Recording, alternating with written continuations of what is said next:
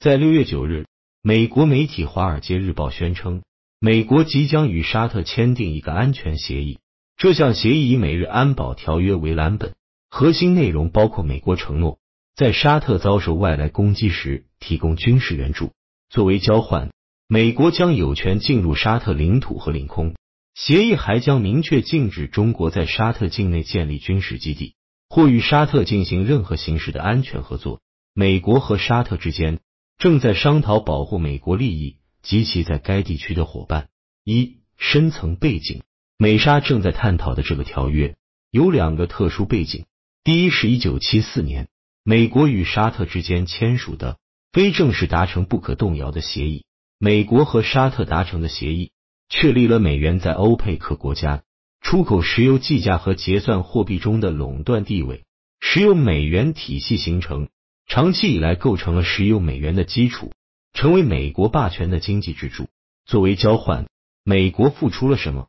美国向沙特阿拉伯出售军事武器，同时保障沙特阿拉伯国土安全不受以色列侵犯，尤其是不受以色列侵犯。这个协议的基本逻辑是。美国通过自己扶植的以色列威胁中东各国，胁迫沙特签下了城下之盟。美国和沙特的上述协议有效期五十年，将于今年到期，需要重新商谈续约。如果沙特不再续约，意味着未来欧佩克各国会接受多种货币进行石油贸易，石油美元体系瓦解，自事体大，事关美国生死存亡，由不得拜登政府半点疏忽。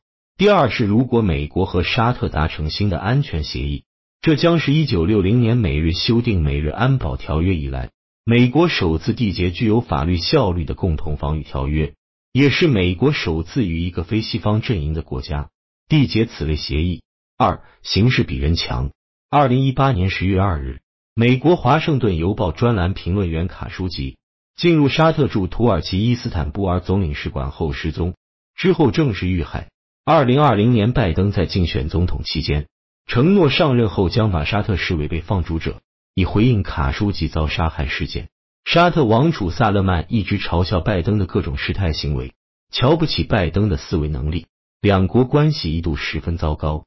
如果美沙两国跨越障碍达成新的协议，可以认为双方都是捏着鼻子，强忍着心中的厌恶勉强搭伙，只能说形势逼人。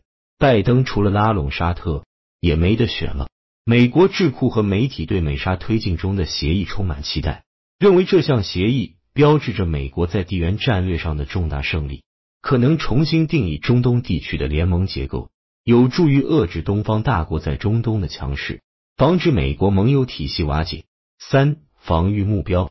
我认为，如果美国和沙特在此时签署安保条约，也就是所谓的共同防御条约，无异于抱薪救火。是在原本混乱的中东局势上火上浇油。既然说共同防御，自然就有防御对象。那么，美国和沙俄要在中东要防御谁呢？一九四八年以来，阿拉伯人的共同对手就是以色列。然而，以色列立国的靠山就是美国。如今，犹太人已经控制了美国，美国不可能拉着沙特共同防御以色列。既然如此，美国和沙特共同防御的对象只剩下一个目标。伊朗为首的伊斯兰什叶派国家，沙特和伊朗的矛盾根深蒂固。沙特是伊斯兰教的逊尼派的领导者，伊朗是伊斯兰教的什叶派领导者。沙特是阿拉伯人，伊朗是波斯人。这两个国家对立了一千多年，从来不可能亲如一家。美国也不可能允许中东实现和解。美国控制中东局势的两大抓手，一是巴以冲突，二是伊斯兰世界两大派别的对立。沙特是欧佩克主导国家，也是阿拉伯国家联盟的大当家。伊朗是什叶派主要国家，但是只有三四个什叶派国家。长期以来，美国扶持沙特压制伊朗，伊朗一直屹立不倒。关键是因为背靠大国。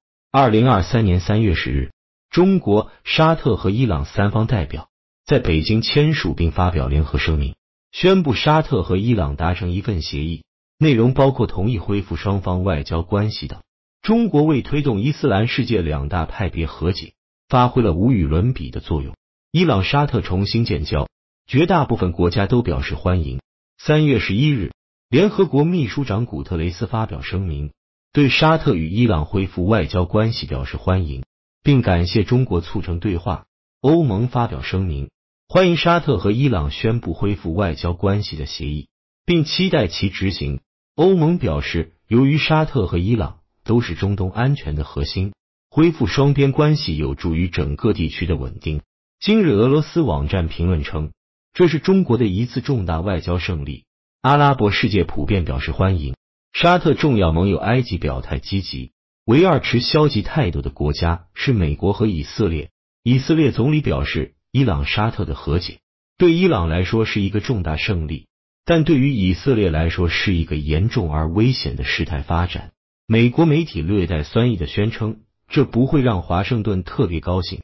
美国商业内幕网站在报道中援引一名美国前外交官的话声称，沙伊两国达成复交协议，相当于对拜登竖中指，并将该言论放到了报道大标题上。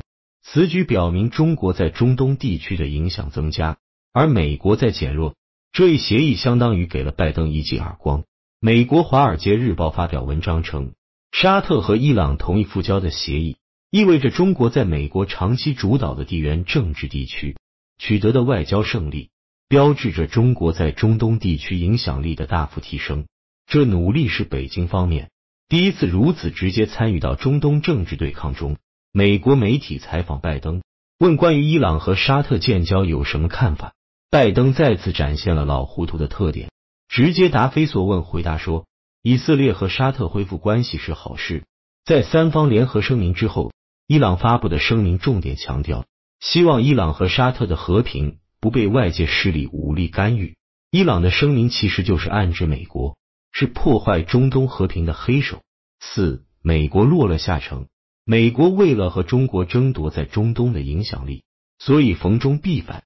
中国推动沙特伊朗和解，推动伊斯兰世界实现内部和平，美国就反其道而行之，继续推动沙特和伊朗对立，撕裂伊斯兰世界。中国支持巴勒斯坦和以色列分别建国的两国方案，美国为了支持以色列保持在中东的霸主地位，就在联合国投票反对两国方案。中国为中东带去了和平的曙光，美国就要把和平的曙光重新关进黑匣子。包括沙特和伊朗所有的伊斯兰国家在内，没有任何一个能够主导中东地区的事务，才是对美国和以色列最有利的局面。中国在中东没有历史恩怨和现实纠葛，所以中国驻联合国代表才批评以色列拿中国当对手是选错了对象。中国不仅和伊朗等什叶派国家友好往来，还和阿拉伯国家联盟，保持了长达几十年的友好合作。阿拉伯主要国家都与中国保持着长期友好的关系。美国在中东选择中国为对手，显然也是选错了对象。因为美国给中东带去战争，中国给中东带去和平和发展，对比鲜明，高下立显，人心向背，不言而喻。希望沙特能够清醒的看到世界局势的变化，全球南方正在崛起，金砖国家正在壮大，东方文明正在复兴，伊斯兰世界也该振作起来了。如果沙特能够摆脱美国的绑架，团结广大伊斯兰国家，推动国家经济转型，发展工业化和智能技术，伊斯兰世界非常有希望成为世界重要的一极。多极化的世界离不开伊斯兰国家。